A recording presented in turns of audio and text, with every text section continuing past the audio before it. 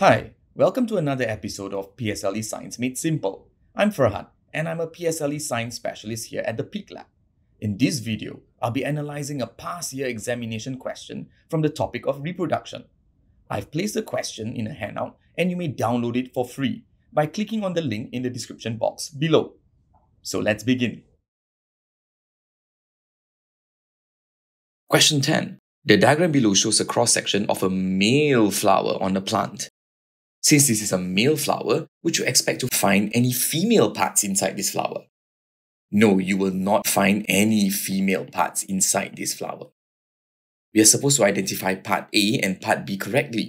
So if we quickly scan through the options, now which are the parts we will definitely not find in this flower?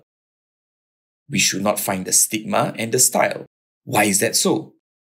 The stigma and style are female parts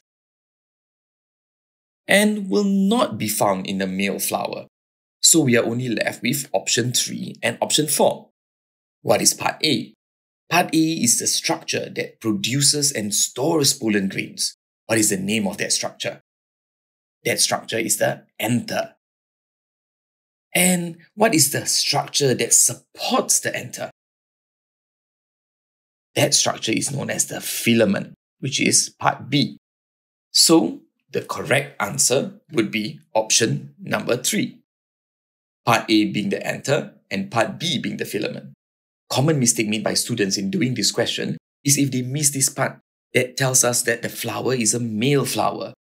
Students immediately identify the large structure in the middle of the flower as a stigma. And the structure that supports the stigma as a style. And we know these two structures, the stigma and the style, cannot be found in the male flower. And why is that so? Because these two structures are female parts and cannot be found in the male flower.